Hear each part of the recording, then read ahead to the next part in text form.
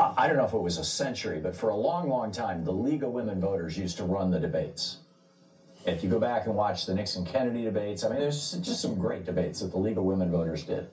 And in 1988, uh, President, uh, uh, well, he wasn't president at the time, he was vice president, George Herbert Walker Bush, said, I, you know, and it, it was uh, Bush against Dukakis at that time. And he said, I will not debate Michael Dukakis uh, if the debate is moderated by the League of Women Voters. And the reason why, of course, was because the League of Women Voters was pretty scrupulous about asking follow up questions and, and trying to pin people down. And Bush knew that on, in circumstances like that, he would be destroyed because he basically had no record to run on.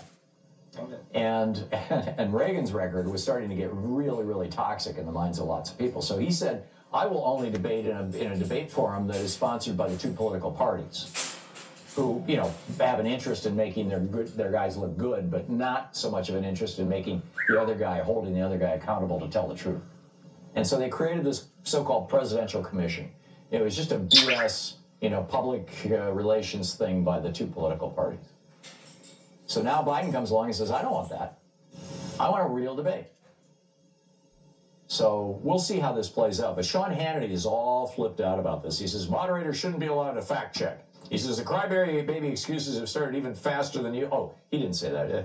Ron Filipkowski says that crybaby baby excuses have started even faster than you. This crybaby, of course, Sean Hannity. He, uh, he said, I would add that moderators' mics, they need to be muted. Uh, also, after the question, why? Because it's obvious the liberal media, they, you know, muting the moderators, not Trump, the moderators. He says, the liberal media, they'd love to be two on one versus Donald Trump. No, that can't happen. Nor should networks be allowed to put anything on the screen but the names of the candidate. In other words, you can't say on the screen, oh, that was a lie Trump just told.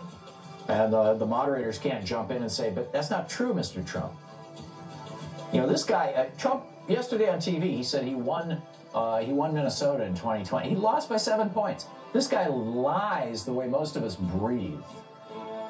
You're listening to the Thom Hartmann program. Call 202 808 9925.